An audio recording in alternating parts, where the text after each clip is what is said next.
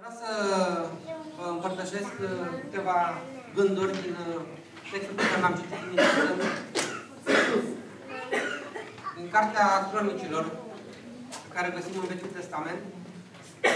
Deci, înainte de a citi din această Carte a Cronicilor, aș dori să aș dori să citim un alt cuvânt din Isaia, pentru că atunci când uh, Dumnezeu face o promisiune, El este Cel care o împlinește. Și vreau să mai citesc înainte de a citi acel cuvânt, citeam cuvânt din Ieremia.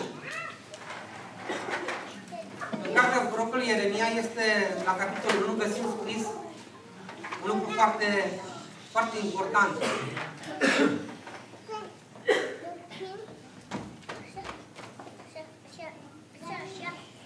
Să citim de la versetul 11, Ieremia 1 cu 11. Cuvântul Domnului mi-a vorbit astfel. Ce vezi, Ieremia? Eu am răspuns, văd un vechetor. Și Domnul a zis, Domnul mi-a zis, bine ai văzut. Bine ai văzut. Căci eu veghez asupra cuvântului meu ca să-l împlinesc. Adică Domnul spune lui Ieremia, tu ai văzut bine, ce ai văzut, ai văzut bine. Pentru că eu sunt acela care veghează asupra promisiunii pe care eu o dau ca să se împlinească. Și acum vreau să citim promisiunea. Am citit ce a văzut Ieremia, am văzut răspunsul pe care Dumnezeu i-a dat lui Ieremia, la întrebarea pe care tot el a pus-o. Și acum vreau să citim promisiunea pe care o face Dumnezeu și pe care ar dori să o, să o citim, pentru că aș vrea ca acest cuvânt în această dimineață să fie împlinit și Domnul veghează asupra lui să-l împlinească. În Isaia 55, versetul 10, și ce spune așa. Căci după cum ploaia și zăpada se pogoră din ceruri și nu se mai întorc înapoi, ci udă pământul și îl fac să rodească și să o drăslească, pentru ca să dea sămânță semănătorului și pâine celui ce mănâncă, tot așa. Deci este cuvântul lui Dumnezeu, da? Nu este cuvântul sau gândul unui om. Este cuvântul lui Dumnezeu, spus prin prorocul Isaia. Tot așa și cuvântul meu, care iese din gura mea, nu se întoarce la mine fără rod, ci va face voia mea și va împlini planurile mele. De ce? Ieremia 1 cu 11. Căci eu veghez asupra cuvântului meu ca să îl ca să îl împlinesc. Bun. Și acum vreau să citim să citim versetul sau cuvintele pe care am dorit ca Domnul să le împlinească. În 2 Cronici, la capitolul 7, citim de la versetul 11 așa. Când a izbăvit Solomon casa Domnului și casa împăratului, și a izbutit în tot ce își pusese în gând să facă în casa Domnului și în casa împăratului, Domnul s-a arătat lui Solomon noaptea și a zis, îți ascult rugăciunea și aleg locul acesta drept casă unde va trebui să mi se aducă jertfe. Când voi închide cerul și nu va fi ploaie, când voi porunci lăpustelor să mănânce țara, când voi trimite ciuma în poporul meu, dacă poporul meu, peste care este chemat numele meu, se va smeri, se va ruga și va căuta fața mea și se va bate de la căile lui rele, îl voi asculta din ceruri, îi voi ierta păcatul și voi tăgmântui țara. Și apoi el zice, ochii mei vor fi deschiși de acum și urechile mele vor fi coloare aminte la rugăciunea făcută în locul acesta. Amin. Ce frumos!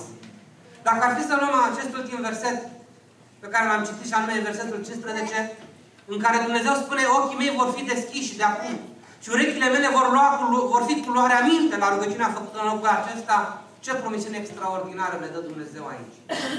Vreau să facem și o rugăciune ca El să binecuvânteze cuvântul în rostirea ce va fi și în ascultarea ce va fi. Haideți să ne rugăm împreună. Sfântule Părinte, îți mulțumim pentru acest cuvânt pe care te rugăm să-l sfințești, să îl binecuvântezi, Doamne. Te rugăm să faci să fie o hrană spirituală, Doamne, bună. Și, Doamne, după cum am citit din cuvântul Tău, Doamne, că al Tău cuvânt, Doamne, nu se va întoarce la Tine fără rod, Doamne, ci va împlini voia Ta și va face planurile Tale.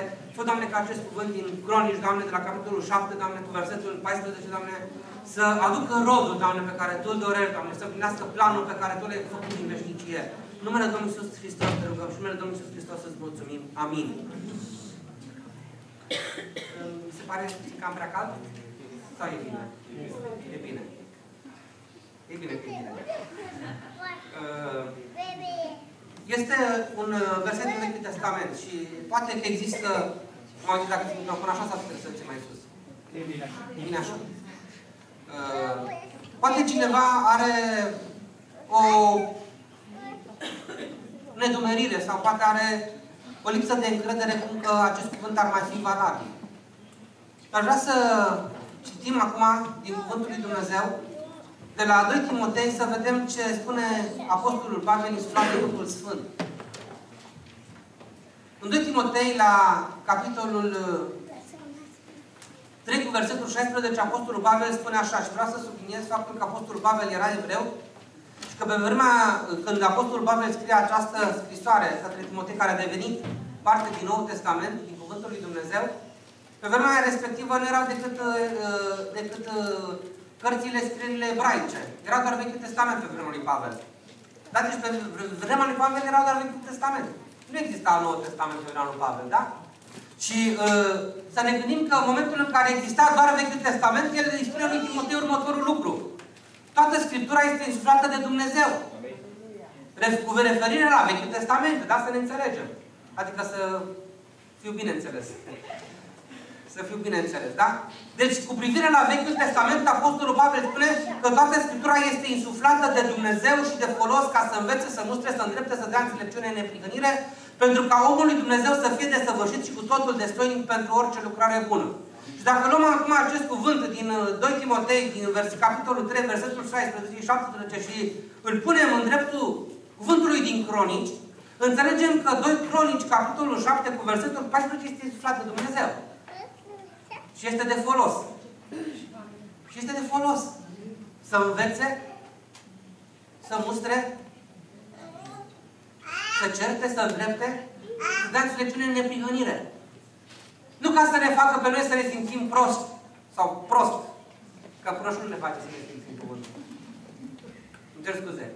Uh, pentru greșeală. Să ne facă să ne simțim noi prost atunci când stăm înainte cu păcatul nostru pe care ni le revelează Duhul Sfânt când ne cercetează. Ci e de folos să le dați lecțiune în neprihănire ca să fim desăvârșiți. Și cu totul nici pentru orice lucrare bună. Și cine ne face pe noi desăvârșiți? Cuvântul lui Dumnezeu. Duhul Sfânt. Prin lucrarea pe care o, o face în noi, El ne face desăvârșiți. Toți suntem imperfecți. E cineva care nu este, care nu este imperfect? Nu, toți suntem imperfecți. Dar Duhul Sfânt lucrează în noi și ce-mi doresc este să ne uităm la acest cuvânt. Fiecare dintre noi. Știți că uneori cuvântul are un impact asupra fiecare dintre noi în mod diferit. Au fost situații în care am ascultat o predică, eu și alte persoane, și la finalul predicii mi-au zis, wow! Wow, ce cuvânt a fost! Și eu în sinea mi-a zis, Doamne, mine nu că pe mine nu mai a cuvântul ăsta. Dar persoana respectivă era atât de entuziasmată de cuvântul pe care l-auzise, că vrea să-și exprime bucuria față de mine. Și eu am încercat și eu să, să simt, să spun, da, a fost cuvântul Domnului, a fost binecuvântare. Altcineva odată mi-a zis, dar ce m-a cercetat acel cuvânt, a fost mai cuvântul lui Dumnezeu. Fusese un moment în care se citise din Noul Testament și cumva a fost o îmbinare a versetelor. Predicatorul n-a vorbit foarte mult, și a vorbit, a citit de acolo, a citit de acolo, a citit de acolo și într-adevăr a fost o cercetare. Și am zis, cineva tot așa mi-a zis, wow, cum a fost! Și zic, da, a fost har. L-am dezamăgit. Au fost și cazuri în care eu am zis, măi, dar ce m-a cercetat acest cuvânt? Și cineva a zis, da, dar eu știam. și zic, bine. Deci, ce vreau eu să spun este faptul că Dumnezeu are hrană potrivită pentru fiecare dintre noi în mod diferit. Mi s-a întâmplat să, cei care cei care suntem părinți, s-a întâmplat să punem pe masă mâncare. După ce am muncit o săptămână sau mai mult, după ce am adunat salariul, am adus salariul acasă, am cumpărat de mâncare și l-am pus pe masă și vine copilul și spune, știi ce, mie nu mi-e foame. Sau vine și spune, știi ce, mie nu-mi place mâncarea asta, ceva n-avem? Vă sună cunoscut, nu? Ei bine, așa se poate întâmpla și cu Cuvântul lui Dumnezeu. Cine vrea învățătură din cuvânt, are aici frigiderul. Care se poate deschide oricând. Fiecare îl poate deschide și să se hrănească cu ce are nevoie. Și Dumnezeu îl va hrăni. Însă, ce am avut în Duhul meu în această dimineață, rugându-mă Domnului ca să-mi dea un cuvânt, uh, sau data trecută când am predicat, mi-am adus aminte, fratele Daniel a vrut să-mi ia fițuica. Da. Și am zis, data asta nu mai vin cu ea. ce am avut în inimă și ce am în inimă să vă împărtășesc din Cuvântul Domnului este acest verset. Am vrea să-l mai citim o dată. De fapt, sunt două versete pe care aș vrea să le mai recitim și pe care aș dori să le luați în inimile dumneavoastră și în mințile dumneavoastră și să meditați la ele.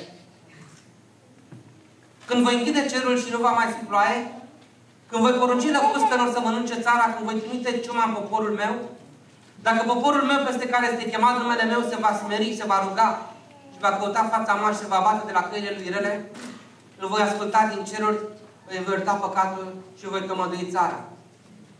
Aș vrea să încep puțin cu ultima parte a acestui verset. Îl voi asculta din ceruri. Uneori, uneori rugăciunile noastre nu sunt ascultate. Și ne întrebăm, oare, Doamne, de ce Tu nu mă asculți? Sau oare de ce nu răspunzi Tu la rugăciunea pe care eu o fac? Și dacă deschidem 2 Cronici, capitolul 7, cu versetul 14, putem să găsim un răspuns. Dacă poporul meu peste, peste care este chemat numele meu. Și acum aș vrea să pun, să citesc, să, să, să mai bine spus, să parafrazez starea de fapt. Starea de fapt în care putea să fie și a de fapt să fie poporul evreu. Dacă poporul meu peste care este chemat numele, numele meu, nu se va smeri. Nu se va ruga.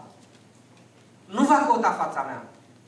Și nu se va bate la căile lui rele, nu-l voi asculta din ceruri, nu-i voi ierta păcatul și nu-i voi tămădui țara. Poate să fie interpretat și așa cuvântul lui Dumnezeu. Dar știți care este frumusețea dragostei lui Dumnezeu? Că El de cele mai multe ori nu vorbește cu nu înainte. El vorbește cu da, pentru că are în vedere binecuvântarea noastră. El spune, dacă poporul meu peste care este chemat numele meu, Dumnezeu știa ce o să se întâmple. Deci Dumnezeu știa ce o să se întâmple. Știa că poporul nu o să se smerească, știa că poporul nu o să se roage, știa că poporul nu o să caute fața lui, știa că poporul nu o să se abate de la căile lui rele, știa că poporul o să fie idolatru, știa că poporul o să fie uh, într-o stare de, de depravare uh, fizică și spirituală. Și totuși Dumnezeu îi spune, dacă poporul meu peste care este chemat numele meu se va smeri. El avea în vedere el avea în vedere binecuvântarea și dorința poporului ca să facă voia lui. Este interesant, legat de acest aspect, e interesant de văzut faptul că atunci când Dumnezeu dă cele 10 porunci pe care le citim în Exodul, 2, în Exodul la capitolul 20, vom vedea că Dumnezeu spune un lucru foarte interesant. Știm cele 10 porunci, ar fi bine să le știm. Nu vreau să spun, nu vreau să întreb acum cine știe sau cine nu știe, în, în mare parte le știm, poate nu pe fiecare în parte, însă acolo cele mai multe dintre poruncile lui Încep cu să nu. Să nu mai ai Dumnezeu în afară de mine. Da? Să nu te închini înaintea lor. Să nu-ți faci chiciopit, să nu minți, să nu prea curvești, să nu furi, să nu ucizi, să nu faci mărturisire mincinoasă. Și Domnul Iisus Hristos când vine în Noul Testament, e interesant faptul că El nu începe cu să nu. El începe cu să faci.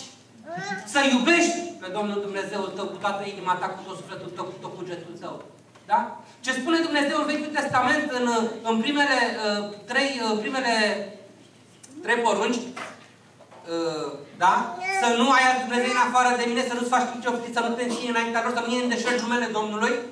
Domnul nostru Iisus Hristos vine și spune să iubești pe Domnul Dumnezeul tău cu toată inima ta, cu tot sufletul tău, cu tot cugetul tău și cu toată puterea ta. De ce? Pentru că iubindu-L, nu o să ai alt Dumnezeu în afară de El. Nu o să am alt de în afară de El, nu o să iau un deșert numele Lui, nu o să-mi fac cioplit. Domnul, Domnul nostru Iisus Hristos vine și spune să iubești. Și El continuă și spune și pe aproapele tău ca pe tine însuți, să iubești pe aproapele tău. Asta înseamnă să nu ucizi, să nu furi, să nu prea curvești, să nu minți. Foarte interesant. Asta e perspectiva lui Dumnezeu în nou legământ. Și vedem că această perspectivă a lui Dumnezeu pe care a prezentat-o Domnul Iisus Hristos în nou legământ, o avea de fapt Domnul în inima lui și în vechime. Una de acele 10 porunci, pentru că aceste rugăciuni pe care această, această promisiune lui Dumnezeu din 2 Cronici la capitolul 7 pe care o găsim aici, a fost dată când erau valabile celor, cele 10 porunci. Și Dumnezeu spune, când poporul meu peste care este chemat, dacă poporul meu peste care este chemat numele meu, se va smeri, se va ruga, va căuta fața mea și va bate de la căile lui rele. Îl voi asculta din cerul. Să știți că, și să știm cu toții că unele dintre rugăciunile noastre nu ne sunt ascultate și unele dintre rugăciunile copilor lui Dumnezeu nu sunt ascultate pentru că Dumnezeu nu se schimbă. Dumnezeu nu se schimbă. Și dacă el a zis în, i-a zis lui Solomon, și a zis lui Solomon în aspect spiritual, nu e vorba de aspectele jertfelor, nu e vorba de aspectul ceremonial ale legii mozaice, în care trebuia să aducă jertfe, să facă sacrificii, să taie gâtul la miei, să zdrobească capul la uh, porumbei, ci se referea la aspectele spirituale. E bine, aceste spirituale sunt valabile și pentru fiecare dintre noi. Și e posibil ca uneori între rugăciunile pe care noi le așteptăm ca să fie răspuns, să nu existe răspuns pentru că pentru că nu ne smerim înaintea lui Dumnezeu. În ziua de astăzi e foarte greu să te smerești. Adică e foarte greu să mă smeresc. Mie nu vine ușor să mă smeresc. Nu știu cum vă vine dumneavoastră, dar mie nu vine ușor. Pentru că am o fire pe care trebuie să o răstignesc pe cruce și când cineva vine și îmi dă un prilej de smerenie, eu îmi caut dreptatea. Și îmi caut uh, să pun înaintea lui uh, felul în care eu gândesc și justificarea mea. Și nu vine să mă smeresc. Să vă zis că odată, într-o situație, într-o problemă, cineva a venit, m-a înfruntat foarte mult și foarte puternic, într-un mod în care m-a tulburat foarte tare și am simțit că sunt la de prost. Și nu odată, de mai multe ori.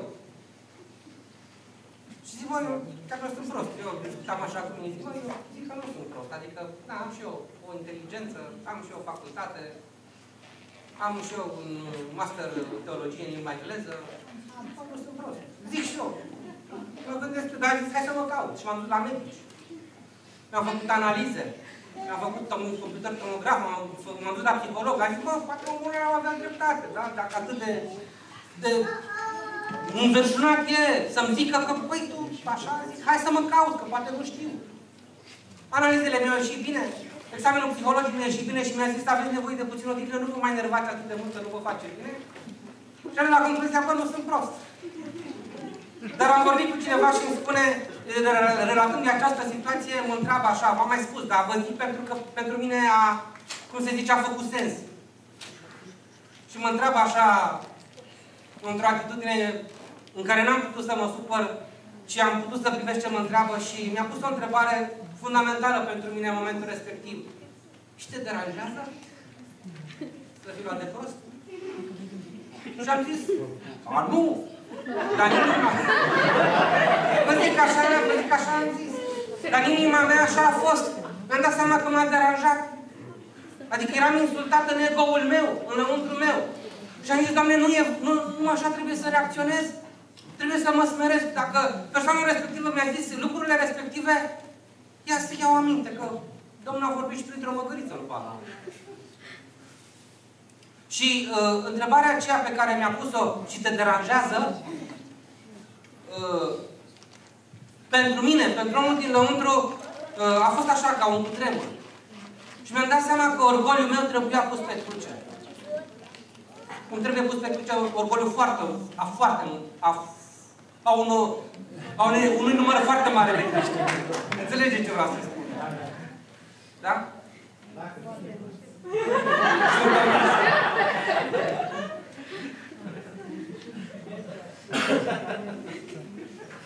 Dacă poporul meu pe secărească cum numele meu se va smeri. Să știți că Domnul nostru Iisus Hristos spune și vorbește foarte frumos și spune Învățați de la mine că ce sunt blând și smerit cu inima. Învățați de la mine că sunt blând și smerit cu inima. Să știm că a ne smeri este o condiție ca Dumnezeu să ne asculte rugăciunea. Dacă rugăciunile, unele dintre rugăciunile noastre nu sunt ascultate, întreabă-te dacă nu cumva ai nevoie să te smerești mai mult. Înaintea lui Dumnezeu, nu înaintea oamenilor. Că nu trebuie să fim ca farisei care să, ca, care să ne arătăm oamenilor că suntem smeriți. Că să știți că sub, sub o haină smerită sau poate ascunde o mare mândrie. Știți că există o boală printre mulți creștini. Se numește mândria smereniei. Vai ce smeriți sunt! Vai ce smerit sunt. Și ele plin de mândrie. Sau ea plină de mândrie. Sau eu sunt plin de mândrie. Sau cred că sunt o persoană nesmerită până în momentul în care mă iertați cineva te de prost. Și atunci vezi că de fapt, vezi că de fapt orgolul din lăuntrul omului, din lăuntrul persoanei, orgolul își spune cuvântul. Și atunci răbufnește și nu se mai vede Hristos. Domnul nostru Iisus Hristos, dacă citim în Isaia, Și dacă citim și în Noul Testament, vreau să vă spun lucrul acesta. Spune Domnul Iisus Hristos, de fapt Apostolul Pavel spune despre Hristos așa. El măcar că avea chipul lui Dumnezeu. Nu a crezut ca un lucru de apucat să fie deopotrivă cu Dumnezeu, ci s-a smerit și s-a făcut ascultător de Dumnezeu. Până la moarte și încă moarte de cruce. El s-a smerit și s-a făcut ascultător. Observăm că smerenia merge mână în mână cu ascultarea. Dacă eu nu ascult de Dumnezeu, să știu că nu sunt un om smerit. Dacă eu nu ascult de Cuvântul lui Dumnezeu, să știu că nu sunt un om smerit. Să știu că nu sunt un creștin smerit, măcar că poate în inima mea cred și mă văd o persoană smerită. Nu sunt smerit. Când nu ascult de Dumnezeu, nu sunt smerit. Nu sunt smerit. Și când dumneata nu ascult de Dumnezeu, nu ești smerit. Hristos spune că s-a făcut ascultător până la moarte și încă moarte de cruce și El s-a smerit. Deci o cauză pentru care rugăciunile noastre nu sunt ascultate și pentru care dăm vina pe Dumnezeu, de fapt sunt la noi. O cauză e la noi. Noi dăm vina pe Dumnezeu că nu ne ascultă rugăciunea, dar de fapt eu trebuie să fiu acela care să mă smeresc ca să primesc răspuns la rugăciunea mea. Și știți ce se mai întâmplă în domeniul spiritual? Aș vrea să vă întreb. Știți cu toții, cine a fost prima persoană care s-a mândrit? Satan. Satan a fost prima persoană care s-a mândrit. Și a zis, eu voi fi ca cel prea înalt. Eu nu voi ridica scaunul de domnie sus de tot. Voi fi deasupra. Și atunci când un creștin se mândrește, înfăptește un păcat, un păcat pe care l-a făcut și satana, și dă un prilej celui rău în viața lui ca să pună o, o stabilă între a primi rugăciunea pe care Dumnezeu, răspuns la rugăciunea pe care Dumnezeu i-o trimite, pentru că în Cuvântul lui Dumnezeu, în, în Isaia, dacă nu mă înșel, la capitolul 50 și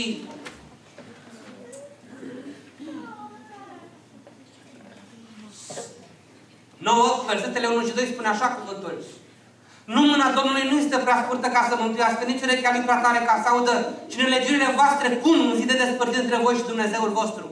Păcatele voastre vă ascund fața lui și îl împiedică să vă asculte. Deci problema nu este la Domnul, ci problema la păcatul meu.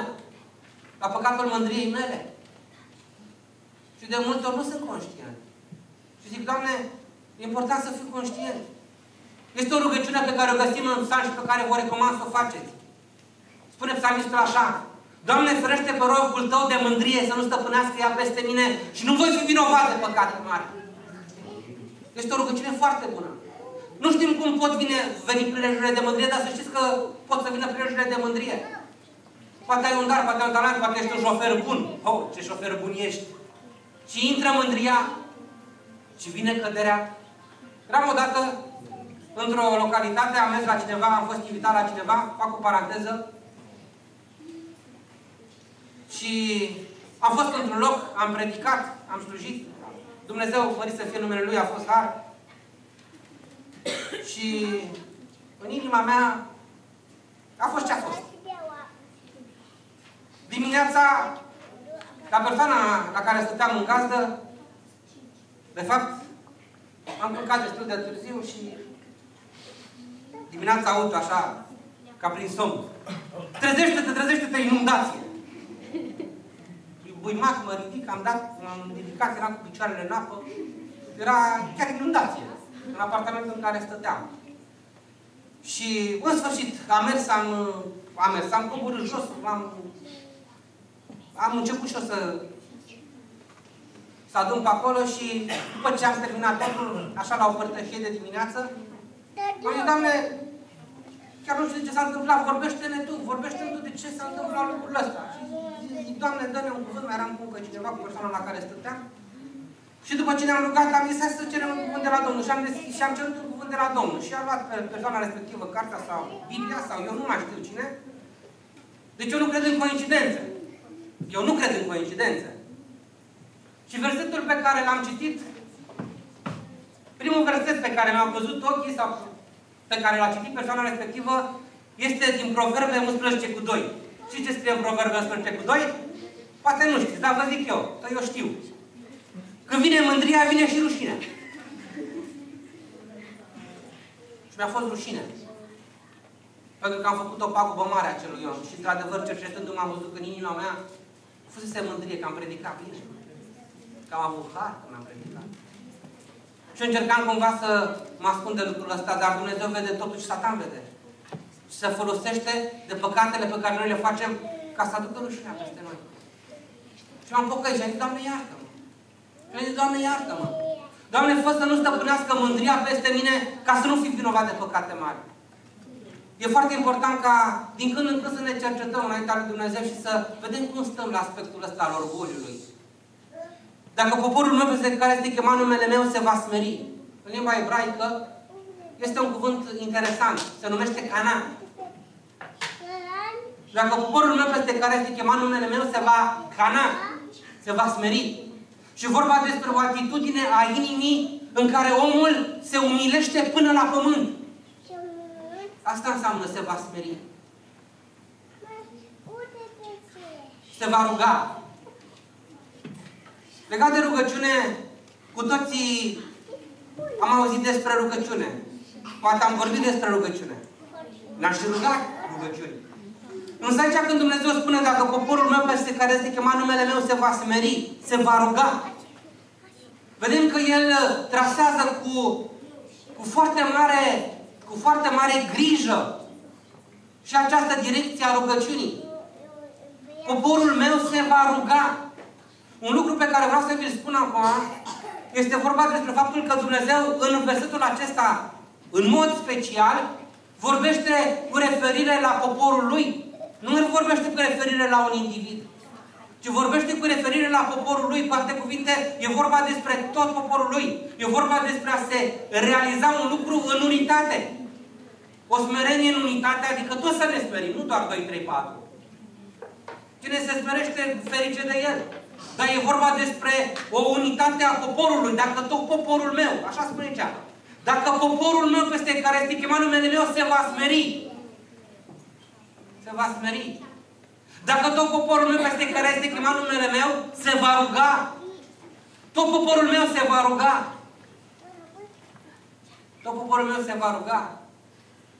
Și nu se referă Domnul doar la o rugăciune pe care să o facem atunci când adunăm împreună, ci Dumnezeu dorește ca să aibă părtășie cu noi și noi să avem părtășie cu El în mod constant prin rugăciune. Domnul Iisus Hristos, că revin mereu la El, că El este învățătorul nostru, atunci când avea ceva de făcut, nu se ducea la un han sau în casa lui Matei să se ducă la un ospăț. Nu. El se ducea și vorbea cu Domnul. Se ducea și se ruga. Se ducea și se ruga. După ce s-a rugat, a ales pe cei 12. După, înainte de a merge pe, pe, pe Golgota, el s-a rugat. El s-a rugat. Vă recomand, dacă vreți să citiți, despre, puteți să găsiți pe internet, să, să, să, dați, să tastați acolo pe Google sau pe ce motor de căutare folosiți dumneavoastră, să căutați despre transpirație de sânge, să vedeți ce spune acolo. A fost real. A fost real. Ce s-a întâmplat cu Domnul a fost real. Și El s-a rugat. Și au fost unii care nu s-au rugat împreună cu El. Și au adormit. Le era prea somn. Ceea ce vreau să spun este faptul că dacă noi ne punem inima să căutăm fața lui Dumnezeu, în afară de faptul că e bine să ne smerim, trebuie să ne și rugăm. Și rugăciunea nu trebuie să fie cum a fost, uh, sau cum uh, poate am auzit că trebuie să ne rugăm, să ridicăm glasul, să strigăm. Nu putem să o facem așa, să ridicăm glasul toți împreună, cum spunea în faptul la capitolul 2 cu 42. Că când eram ei acolo strâns și au ridicat glasul toți împreună și au zis, stăpâne, Doamne, și s-au rugat. S-a tremurat loc când, când, când, când s-au rugat ei. Însă mai este un, o femeie care s-a rugat și vreau să vă dau exemplul Anei. Ana, soția lui, uh, nu, soț, uh, mama lui Samuel. Ana știți cum s-a rugat? Știți cum s-a rugat Ana? Ana a tăcut din gură. Ana a tăcut din gură, așa s-a rugat Ana. Dar nu conta ce piese de pe buzele ei la momentul respectiv, a contat ce ieșea în inima ei, pentru că îi spune lui Eli, preotul lui Israel, care spune, ce ești beată? Ce ești beată, tu ești culcă. Și ea spune, nu, nu, durerea din inima mea mă face să, să fiu așa. Dar ea s-a rugat și Domnul îi spune, Domnul îți ascultă rugăciunea. Deci ceea ce contează este ca rugăciunea să fie din inimă și un lucru care iarăși contează foarte mult este că atunci când noi ne așezăm la rugăciune, este important să așteptăm răspunsul lui Dumnezeu. De multe ori noi mergem în rugăciune înaintea lui Dumnezeu și doar să îi cerem, doar să primim. Și atunci când ne rugăm noi, însă găsim în Cuvântul lui Dumnezeu că sunt momente în care Dumnezeu ne răspunde la rugăciune. Și uneori, înainte de răspunsul la rugăciune, e nevoie de așteptare. Prorocul Habacuc, după ce face o rugăciune, dacă citim în cartea prorocului Habacuc, nu vreau să citesc acum, că e mai mult de citit, sunt vreo două capitole. Spune că face o rugăciune către Dumnezeu și la un moment dat Dumnezeu îi spune, Habacuc spune, și m-am dus la locul meu de strajă să văd ce are să spună Domnul la cererea mea. Aș vrea să vă întreb, cât timp așteptați dumneavoastră ca Dumnezeu să vă răspundă fără să mai spuneți, fără să mai cereți în continuare Lui și altele, și alte chestii. Eu vă zic că e un exercițiu pe care putem să-l facem împreună. Când suntem singuri. Să-l facem împreună dacă suntem singuri acasă. Ca după ce mă rog, să tac puțin din gură, să văd ce are să-mi spună Domnul. Uneori Domnul tace. Dar să știți că de foarte multe ori Dumnezeu vorbește. De foarte multe ori Dumnezeu ne răspunde. Și primim călăuzire. Și dacă facem ce ne zice El, suntem binecuvântați. Dacă nu avem timp să ascultăm ce ne spune Dumnezeu, nu avem cum să auzim glasul Lui. Dumnezeu nu ne vorbește trăsnindu-ne. Sau prin fulgere. Sau să se cutremure pământul. Nu. Moise a zis la un moment dat așa, Doamne, arată slava Ta, vreau să văd slava Ta. Și Dumnezeu îi spune, oh, ok, vrei să vezi slava mea? Hai ca să o ți arăt. Găsim acest lucru undeva prin Vechiul Testament. Și spune, du-te și stai pe stâncă, du-te într-o peșteră. Și deodată se face un cutremur de pământ. Cutremur. Ne teamă de cutremure. Poate fiecare în parte ne teamă de cutremur, da? Simt că se mișcă pământul sub tine și nu ai ce să faci. Și Biblia spune, Domnul nu era în cutremurul ăla. Și vine un vânt mare. Știți că au fost vânturi prin București, de au luat acoperișuri. Și se auzea, și că acum, acum fuge casa.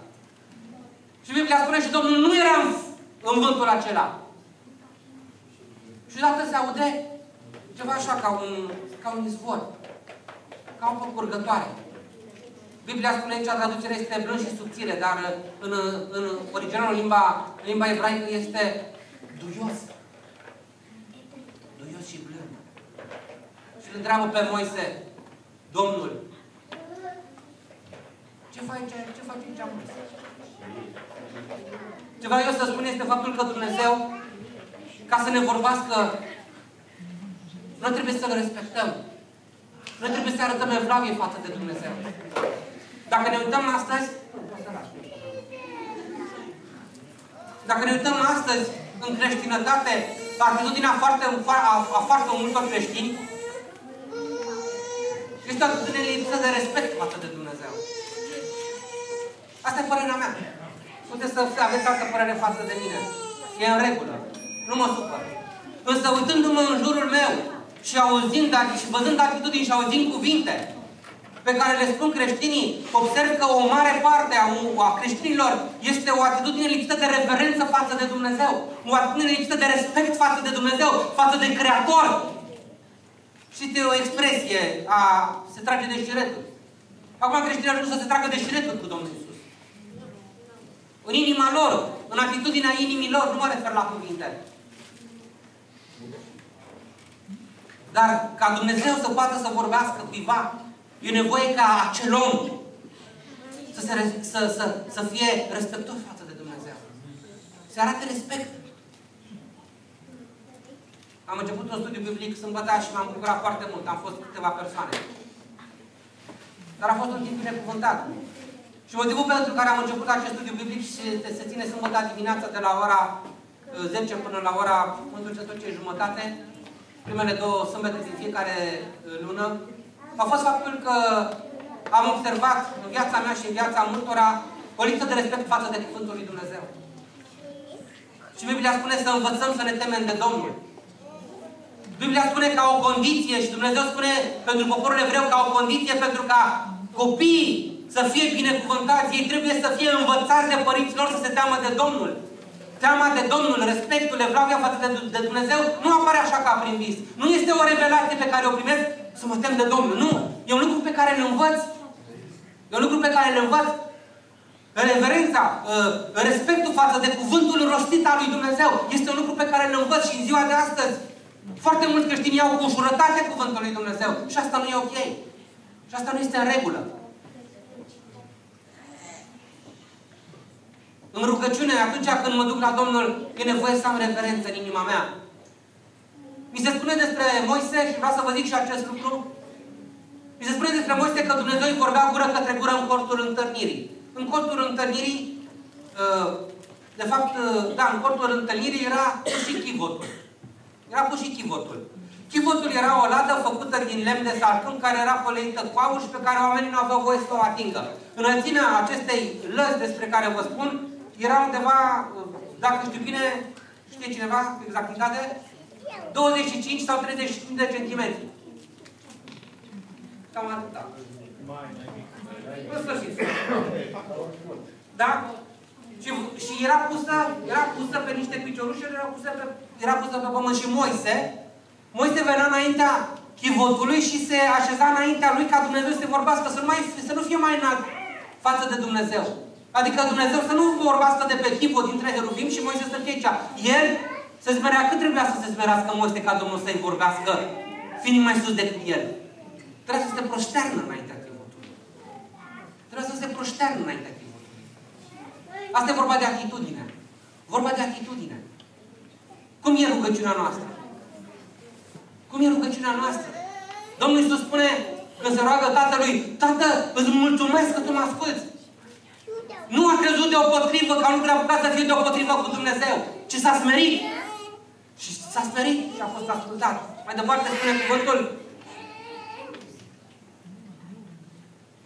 Dacă poporul meu peste care este chemat numele meu, va căuta fața mea. Va căuta fața mea. Psalmistul spune, Inima îmi spune din partea ta caută fața mea. Și apoi îl urmează și zice fața ta, Doamne, o caut. Dar cum să căutăm fața Domnului? E o întrebare bună și practică, concretă. Că se pot face predii, se pot face studii despre fața Domnului, se pot în fața Domnului. Bine, bine, bine, bine. Ok, dar practic. Practică. Creștinismul este o relație. E vorba despre o relație. Unii zic că e o religie practică. Eu vreau să zic că este vorba despre o relație, da? Între mine și Domnul meu, Iisus Hristos. Practic, cum să caut fața Domnului? Ce să fac efectiv? Că spune aici așa, dacă poporul meu, care este, peste care este chemat numele meu, va căuta fața mea. Va căuta fața mea.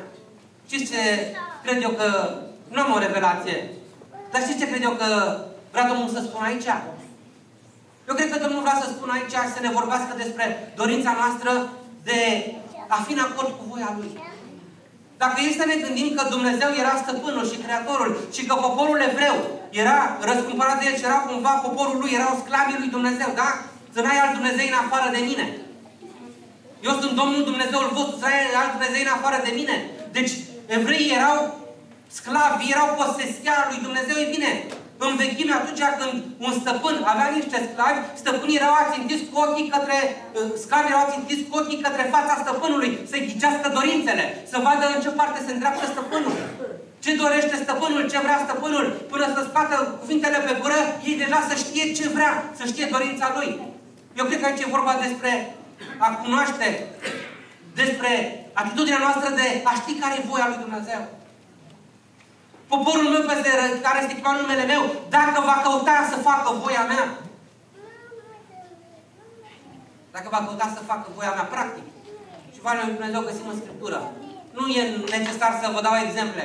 Pentru că cu toți avem multe exemple. Când am făcut voia lui Dumnezeu, când n-am făcut voia lui Dumnezeu. Dacă va căuta fața mea, dacă va căuta voia mea. Și se va abate de la căile lui rele. Acum, Biblia spune despre căile rele. Noi acum suntem pe o cale. Pe care cea vie și nouă, care este Iisus Hristos. Dar psalmistul spune, era să mi se clătine piciorul când mergeam, când m-am mutat la cei, când m-am mutat cu jind la cei ce fac răul. În ziua de astăzi suntem înconjurați de o lume materialistă. Sunt foarte mulți oameni care au succes din punct de vedere financiar. Este așa sau nu este așa? Cunoaștem mulți oameni care au succes financiar. Cunoaștem oameni de succes. Dar oameni de succes au bani, au mașini, au case, au business Se plimbă în toată lumea. Când vor și când nu vor. Și au strâns de averi pentru dar avea o mie de nepoți. Și tot n-ar sărăci, lăsându-le moștenire. Și noi care facem voia lui Dumnezeu ne, ne confruntăm cu niște probleme.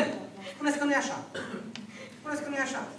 Și vedem pe cei care sunt în lume și fără Dumnezeu, care sunt plini de bani și care credem noi, credem noi că nu au probleme și vedem exteriorul și vedem cum pozează un oameni fericiți, în persoane fericite, care nu au nicio treabă și noi care ne, ne uneori ne strofocăm să facem voia lui Dumnezeu, trecem și prin lipsuri. Și prin lipsuri. Vreau să fac voia lui Dumnezeu, dar trec și prin lipsuri. Păi ce e afacerea asta? Era să mi se clare piciorul când mă uitam cu jind la ce fac răul, zice Scriptura. Și atunci, de pe calea cea nouă și vie care este Iisus Hristos, încep să merg pe calea celor păcătoși? Încep să merg pe calea celor păcătoși? Este un avertisment în psalmul numărul 1. Este un avertisment în psalmul numărul 1. Unde spune, El nu merge pe calea celor păcătoși. Deci se poate ca un creștin să meargă pe calea celor păcătoși. Și Domnul spune, dacă se va bate de la căile lui rele, dacă va veghea asupra inimii lui, asupra minții lui, să nu facă, să nu gândească, să nu procedeze cum procedează oamenii fără Dumnezeu, a căror Dumnezeu este banul, sau sexul, sau business-ul, sau persoana proprie, sau ego-ul. Dacă poporul meu care se va bate de la aceste căi ale popoarelor, ale oamenilor care nu au Dumnezeu, îl voi asculta din ceruri. Îl va asculta din ceruri. În, zi, în viața aceasta noi ne confruntăm cu probleme și la început când ești tânăr zicea în viața înainte. Aș spune și eu ca, ca fratele Daniel tinerilor, ascultați-mă, dar nu spun așa. Avem viața înainte. Și credem că o să fim plini de putere mult timp. Încă nici nu putem să concepem cu mintea noastră cum va fi când vom fi bătrâni. Nu ne interesează. Vă zic că... Da? Nu, nu m-a interesat. Până la anumită vârstă. Când te uiți în urmă, când te uiți în oglindă, și când citești Scriptură, că anii trec ca un sunet.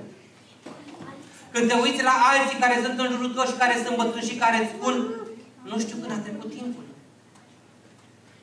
Noi trăim pe viața aceasta câteva zeci de ani. Dar apoi urmează o veșnicie. Urmează o eternitate. Ce vrem să facem cu eternitatea noastră? Vrem ca, pe, ca în acești ani pe care trăim pe pământ să mergem pe calea celor păcătoși și eternitatea noastră să fie despărțită de Dumnezeu?